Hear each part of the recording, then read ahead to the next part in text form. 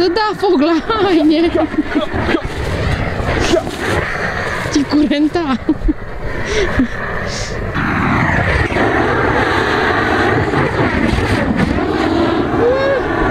Ce-au scăpat!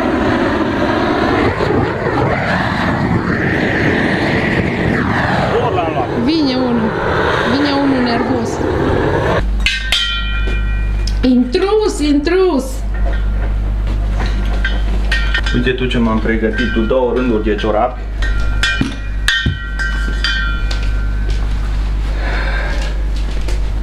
Mănuși, caschetă de constructor, De constructor. constructor, apicultor, muncitor, orice, toate la un loc.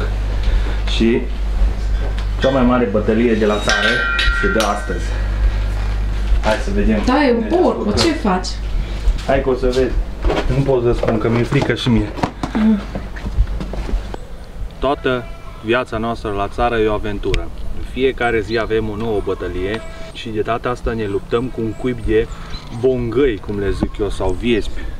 Uh, E viespea aia mare care omoară și albinele și matca noi acolo. Avem niște stupi de albine și aici și-a făcut cuibul într-o gaură de ciocănitoare.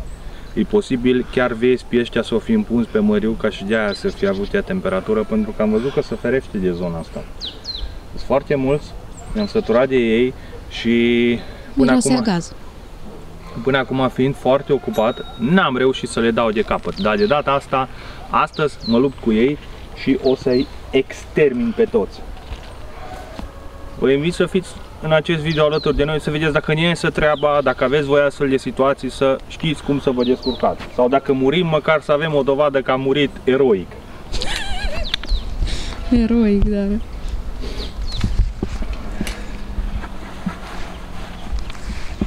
Eu am încercat să bag niște spumă acolo, că sunt patru găuri mari. Și le-am umplut cu spumă, dar voi că le-o rost deja. Doamne ajută!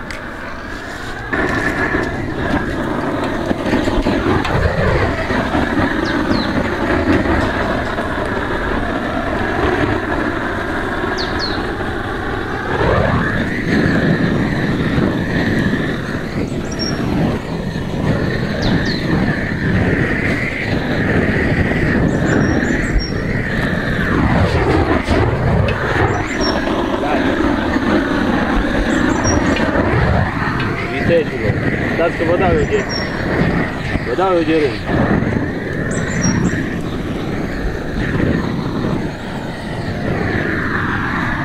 Rezolvă. Nu se mai poate trăi de voi, dar ce e asta? Aici eu șeful. Tu îi vezi pe jos? Da? Îi vezi pe jos? Da. Plecat jos că prima dată le ard aripile. Nu mai pot cura. Prăbușesc. Știi? Mhm. Apoi îi omor de tăți.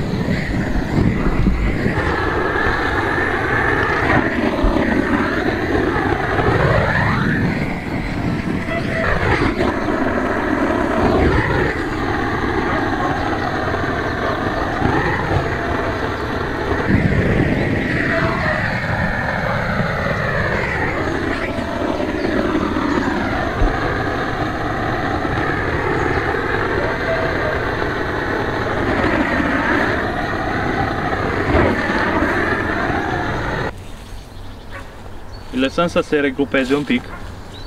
Pentru că eu seara am fost la casă aici. Și m-a și atacat la vreo 10 metri de mărul ăsta. Mai că nu mă mușca de cap. Deci nu se mai poate. Măriu cap de ata, în parcela asta unde paște ea. Numai așa, e cu frică umblă pe aici. Ia că s-o mai potolit. Mă duc să le mai dau. Să vedeți. Mamă, cât țâs. Îți dai seama, și-am lichidat deja mult.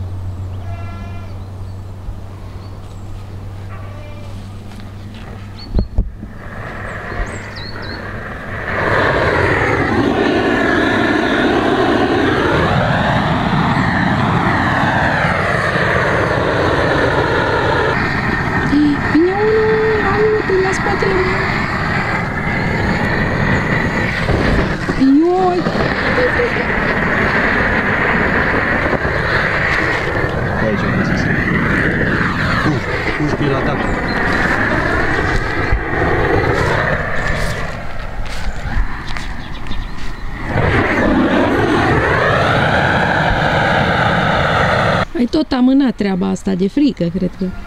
Și de frică, să știi că mi-a zis Beni că numai așa cu torța și a zis că la noapte. Noaptea. Dar eh, eu am venit aseară și am zis lasă că le umplu cu spumă, dar au vreo șase găuri și mai sus și mai jos și tădea roata. Mhm.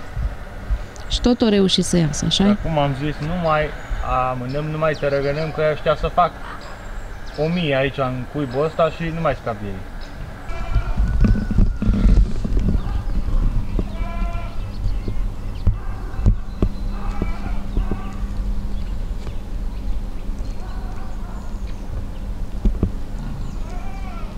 Cred că mare parte am omorât din ei. Eu mai rămân de pază.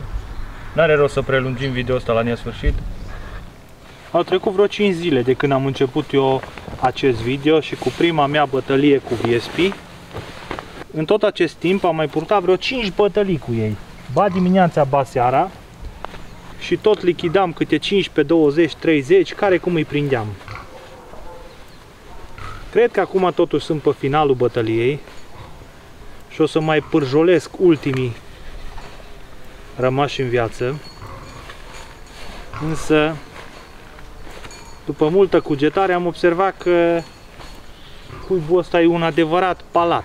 Are o grămadă de intrări și de ieșiri. Are cel puțin vreo 12 intrări.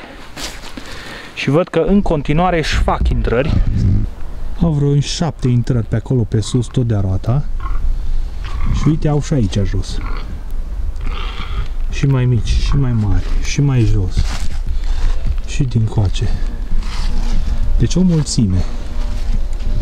Așa că și astăzi continuăm bătălia. Așa pe finalul acestui video vreau să vă spun că am încercat și cu benzină să le arunc pe găuri și apoi să le dau foc, dar observ că cea mai eficientă variantă este această torță. Continuăm cu ea.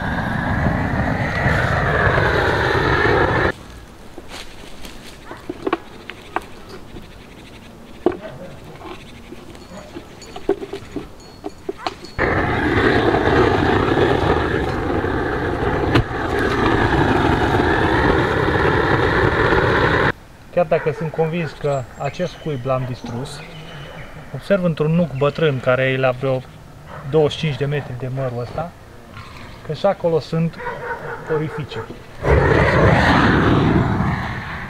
Și cred că și acolo va trebui să duc o bătălie.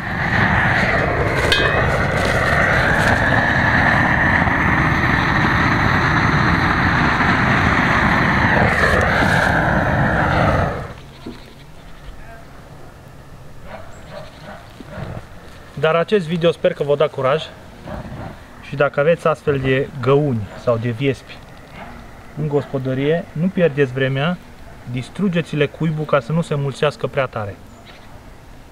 Ia la aud pe unul că e pe aici.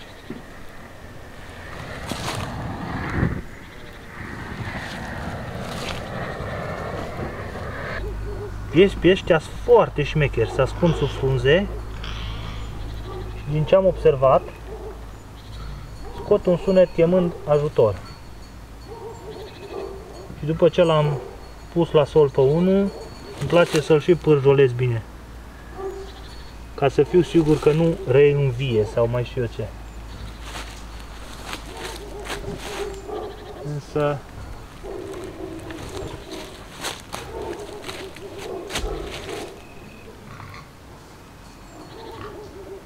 cuibul ăsta de viesp mi-a dat mari bătăi de cap.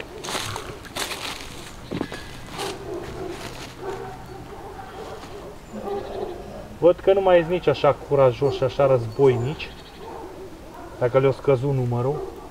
Dacă aveți sugestii pentru mine, vă rog să mi le scrieți în comentarii ce alte metode știți voi sau dacă ați avut bătălii din astea periculoase, să-mi spuneți cum ați câștigat voi bătălia sau ce sugestii aveți sau metode, eventual metode mai ușoare pentru a distruge cuiburile de viespi. Vă mulțumesc pentru vizionare, aștept comentariile voastre, dați un like dacă v-a plăcut acest video, vă salut și ne vedem data viitoare.